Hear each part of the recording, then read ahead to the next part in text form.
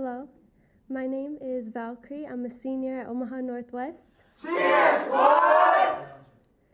And this piece is called War in the Home.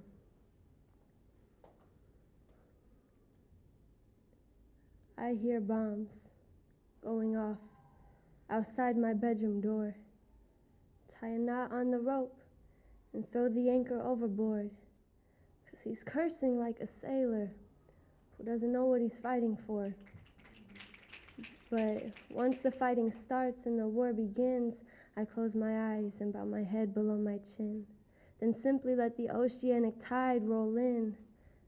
I begin to feel ashamed as if I have sinned. My family's being torn like a grenade from a pin, just wanting to be saved from the soldier within. I've been saluting to the parent who can't ever seem to win.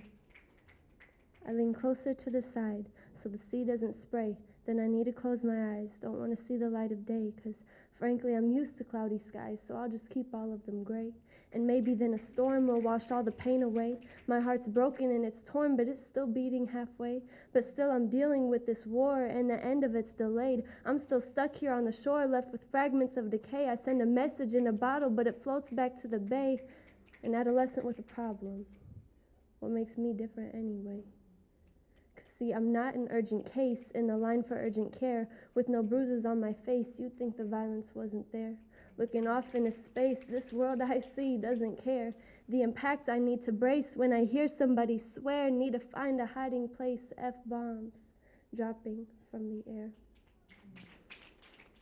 The walls seem to keep it more quiet, but it seems I hear more when it's silent.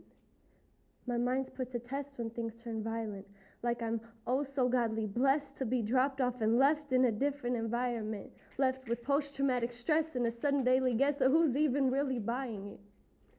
But I get to thinking, all the things I can't unsee, the ship was sinking with someone more important than me. Someone more important like my baby brother, growing up in a home where you learn to take cover. Never left him all alone because we only had each other. And when I broke a couple bones, there was no time to recover. Because when two countries go to war, they aren't the real ones that suffer.